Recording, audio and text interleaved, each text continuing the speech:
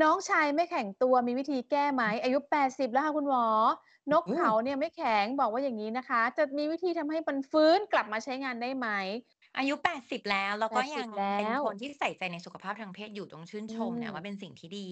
เนาะทีเนี้ยถ้าเราจะดูว่าไอ้สาเหตุที่นกเขาไม่ขันเนี่ยมันจริง ๆ มันมี2สาเหตุหลัก ๆ เลย คือจากสุขภาพทางกอืมาย แล้วก็สาเหตุทางจิตใจก็ได้ด้วย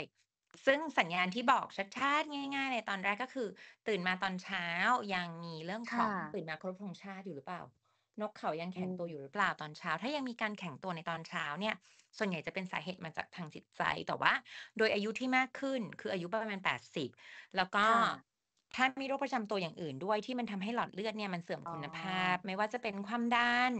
ไขมัน และ หรือว่าโดยเฉพาะเรื่องของเบาหวานเนี่ย ตื่นมาตอนเช้าแล้วก็น้องชายไม่ค่อยตื่นมาเคารพธงชาติแล้วน่าจะมีปัญหาเขาเรียกว่าจากทางสุขภาพทางกายอืมซึ่งโรคประจำตัวพวกเนี้ยเป็นโรคที่เราจะต้องไปจัดการก่อนเพราะมันส่งผลทำให้การแข็งตัวเนี่ยไม่ดีเท่าที่ควร ซึ่งเป็นคจา่กสาะเหตุทางกายเนี่ยมันก็มียาที่ช่วยได้นะคะ เพียงแต่ว่ามันจะจะจะทำให้จากที่มันไม่ค่อยแข็งแรงเนี่ย กลับไปแข็งแรงเหมือนตอนเราอายุ 20 อะไรได้ไหม?มันอาจจะไม่ได้ขนาดนั้นแต่ว่าน่าจะช่วยให้ยังมีความสุข กับการมีกิจกรรมทางเพศได้ในระดับที่เหมาะสมแหละนะคเพ่ราะะฉะนั้นคก่็ะอายุ 80 แล้ว แล้วมีความกังอวืลเรื่องมเนี้ยหมอแนะนำว่าให้ปรึกษาคุณหมอตอนที่เราไปติดตาม